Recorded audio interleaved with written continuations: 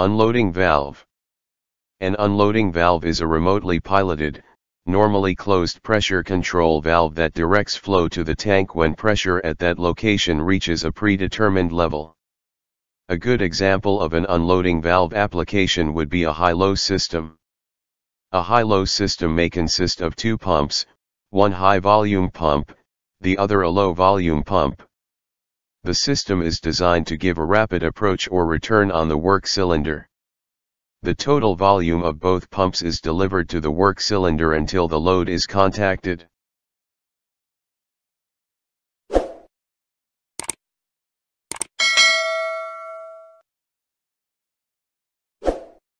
Welcome to Unloading Valves. Unloading valves are often used in the following situations.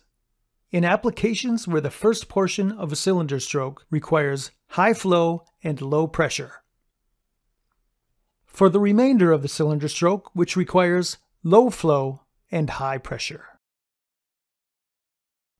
A practical example is a metal stamping machine. During the first part of its machine cycle, the cylinder moves quickly downward into position. It requires minimal pressure because the only resistance is the flow resistance and the friction of the cylinder.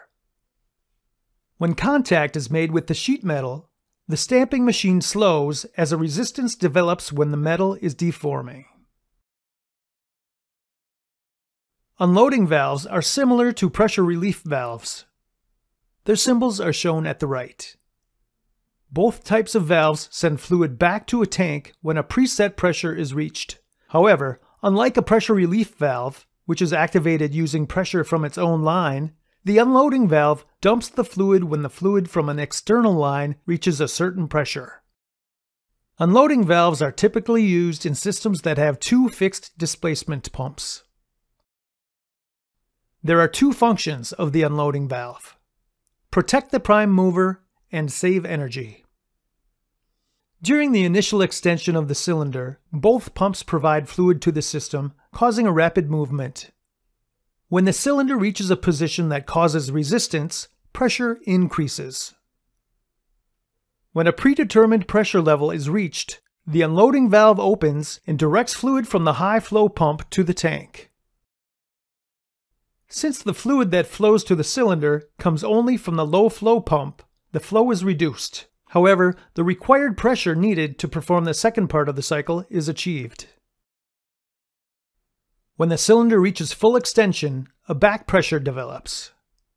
The relief valve opens and directs fluid from the low flow pump to the tank when 3,500 pounds per square inch is reached.